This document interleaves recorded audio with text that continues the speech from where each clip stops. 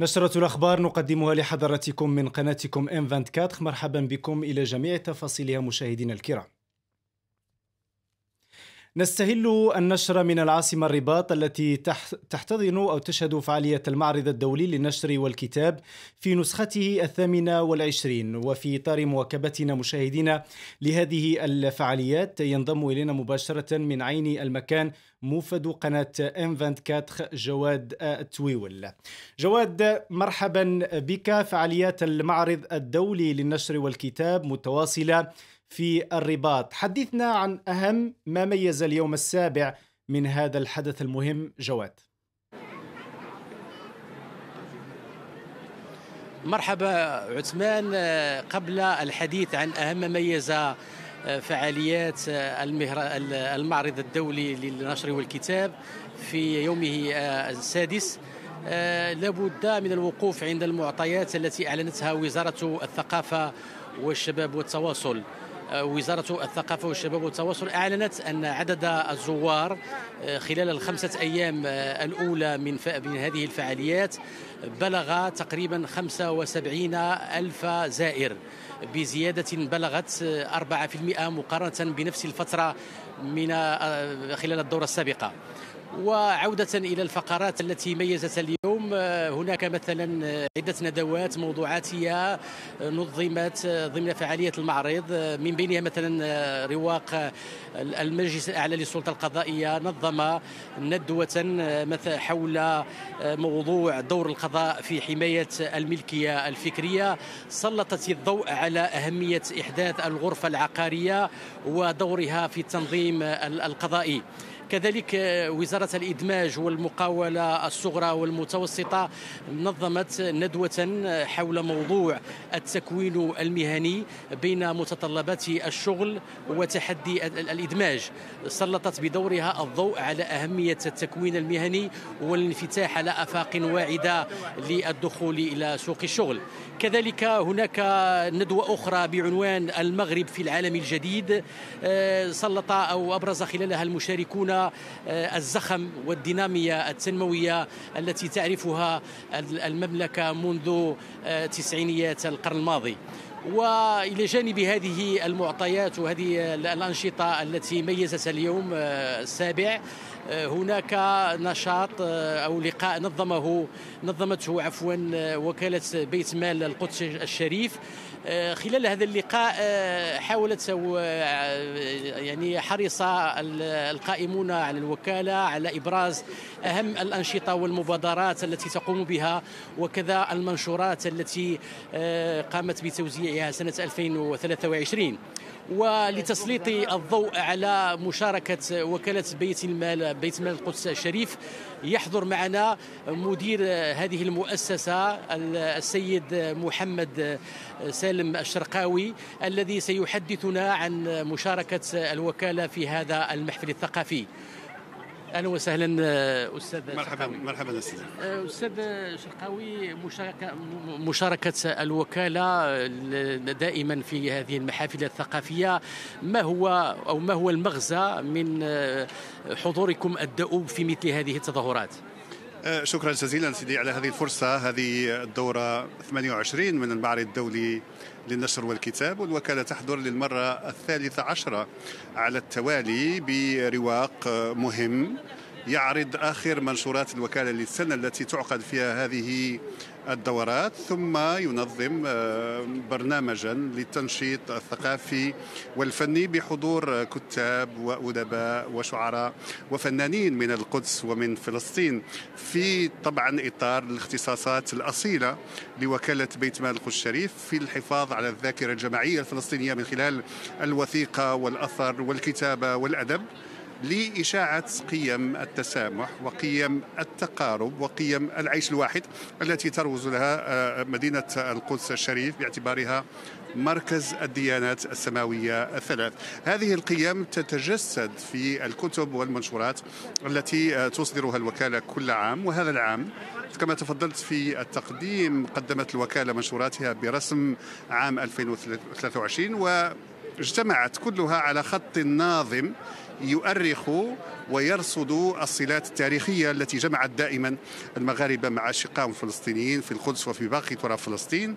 من خلال كتاب سميناه الرباط في القدس جمع لما تفرق في الرحلات المغربية من آه، رحلة ابن عربي في العصر المرابطي إلى الرحلة الرمزية التي ما يزال يقودها جلالة الملك محمد السادس على أثر والده المرحوم المغفور له الحسن الثاني رحمه الله عندما أسس لجنة القدس وبادر إلى تأسيس وكالة بيت مال القدس الشريف ثم الزيارة التاريخية أيضا التي قادت المغفور له الملك محمد الخامس رحمه الله إلى القدس عام 1960 ثم هناك أيضا كتب أخرى موجهة للناشئة ولليافعين لتعزيز وإشاعة الوعي الجماعي بأهمية القدس ومركزها الديني والحضاري.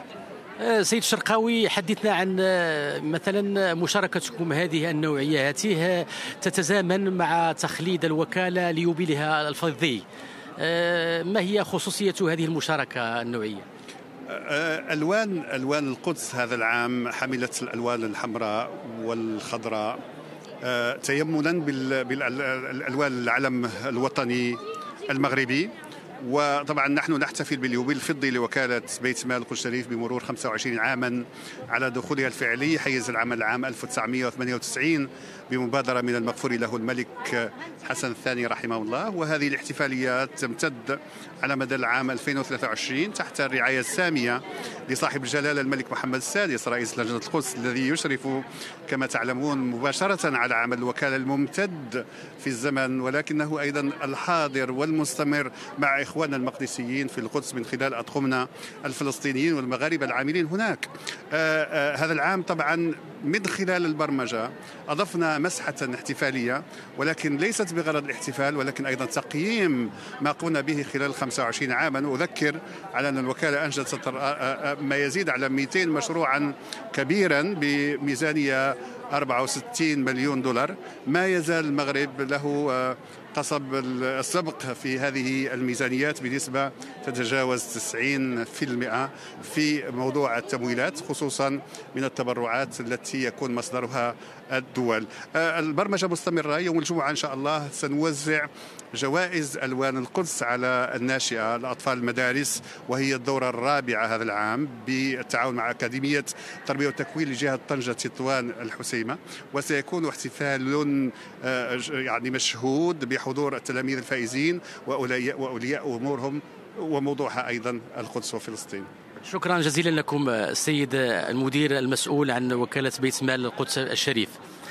آه، وأختم عثمان هذا البث الحي آه، هنا وأعود إليك مجددا. جزيلا لك زميلي جواد توي والموفد قناة إنفنت كات خلال المعرض الدولي للنشر والكتاب بالرباط والشكر أيضا موصول لضيفك الكريم. في خبر آخر مشاهدينا نظم مجلس الجالية المغربية بالخارج ووكالة بيت مال القدس الشريف والمكتبة الوطنية للمملكة المغربية بالعاصمة الرباط العرض ما قبل الأول للفيلم الوثائقي المغرب بعيون فلسطينية وذلك بحضور شخصيات فاعلة في مجال الفن والثقافة. أسامة الدودي نظم مجلس الجالية المغربية بالخارج ووكالة بيت مال القدس الشريف والمكتبة الوطنية للمملكة المغربية بالرباط العرض ما قبل الأول للفيلم الوثائقي المغرب بعيون فلسطينية. اللقاء شكل فرصة للاحتفال بالقيم في خطب جلالة الملك والتي أقيم بصددها عرض لمجموعة من اللوحات التي كتبت بالخط العربي لتسليط الضوء عليها. هذا الفيلم آه، استعرض صور جميلة لمظاهر هذا الحضور المغربي من تاريخيا خلال فترة زيارة الملك محمد الخامس رحمه الله عام 1960 للقدس ثم تجسيد العلاقات بالعمل الدؤوب الذي قاده المغفور له الحسن الثاني طيب الله ثراه على مدى أربعين عاما. ويندرج تقديم هذا الوثائقي في إطار فعاليات الدورة الثامنة والعشرين للمعرض الدولي للنشر والكتاب والتي ستمتد فعالياتها غاية الحادي عشر من يونيو. في أخبار امتحانات البكالوريا وعلى مستوى إقليم صفر بلغ عدد المترشحين والمترشحات لاجتياز الدورة العادية من هذا الاستحقاق الوطني الموحد بلغ حوالي 5063 مترشح ومترشحة. سكينة مسوية والتفاصيل. خمسة آلاف وثلاثة وستون مترشح ومترشحة يجتازون الدورة العادية للامتحان الوطني الموحد لنيل شهادة البكالوريا على مستوى إقليم صفر ويتوزع هؤلاء المترشحون على خمسة عشر مركز امتحان. الأجواء ديال الامتحانات كما تبعتوا كما كتتبعوا كتمر في واحد الظروف جيدة في التنظيم المحكم والتحضير المسبق والتحضير اللي كان طبعا على قدم وساق من طرف جميع المتدخلين. فاعلون تربويون وأطر إدارية وسلطات محلية وأمنية حرصوا على إجراء تنظيم محكم من أجل ضمان مرور امتحانات البكالوريا في ظروف جيدة. ظروف الامتحان الحمد لله انطلقت في ظروف تربوية جيدة. تجند له كل من الطاقمين الاداري والتربوي بكل حزم وروح وطنية. هذا الاستحقاق الوطني مستمر حتى الثامن من يونيو والجاري بالنسبة للقطب العلمي والتقني والمهني ويومي التاسع والعاشر من يونيو بالنسبة للقطب الأدبي والأصيل. نبقى مشاهدينا الكرام في أخبار الوطن. إلى بني ملال حيث استقبلت جامعة السلطان مولاي سليمان وفدا من طلبة كنديين وتندرج هذه الزيارة في إطار رحلة دراسية إلى المغرب تنظم من الثاني إلى السادس عشر من يونيو الجاري. رضوان مستقيم. في إطار رحلة دراسية إلى المغرب نظمت بمبادرة من كلية الآداب والعلوم الإنسانية التابعة لجامعة السلطان مولاي سليمان وكلية التعليم العام والمهني بسانيا سنت وبتعاون وثيق مع كل من الجمعية الجهوية للتراث والتنمية ومركز معابر.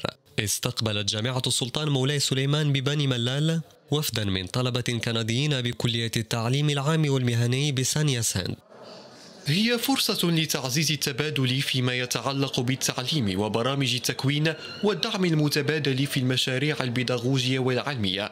فبفضل هذا التعاون تمكنا من تطوير فهم أفضل متبادل وإقامة علاقات نفعية وتعزيز علاقاتنا سواء المؤسساتية أو الثقافية.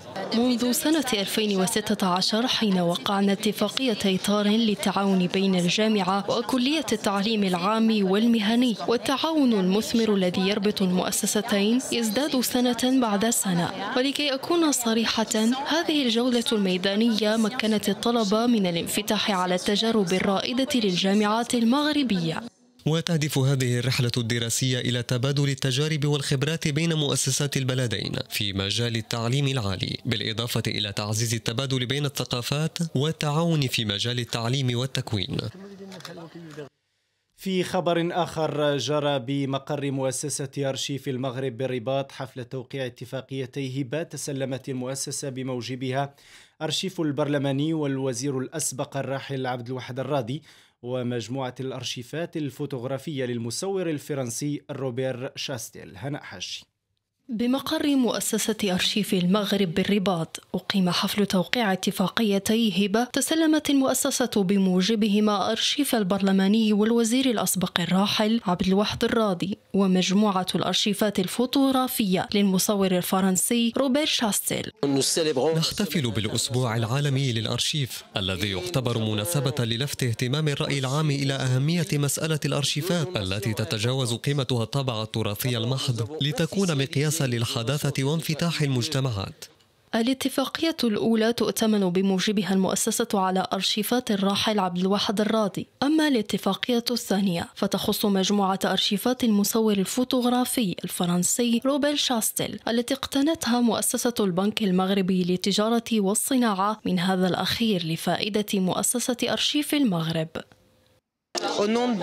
باسم عائلة الراحل عبد الواحد الراضي رحمه الله أقمنا حفل توقيع اتفاقيتي هبة لتسليم أرشيفاته الخاصة لمؤسسة أرشيف المغرب قصد وضعها في متناول المغاربة كشكل من أشكال مواصلة التزامه في خدمة المغرب والمغاربة. حفل توقيع هاتين الاتفاقيتين يندرج في إطار أنشطة مؤسسة أرشيف المغرب بمناسبة الأسبوع العالمي للأرشيف التي تنتهي فعالياته في التاسع من يونيو المقبل الذي يصادف اليوم العالمي للأرشيف. بهذا مشاهدينا الكرام نصل إلى توقيع نهاية النشرة. شكرا لكم على المتابعة. إلى اللقاء.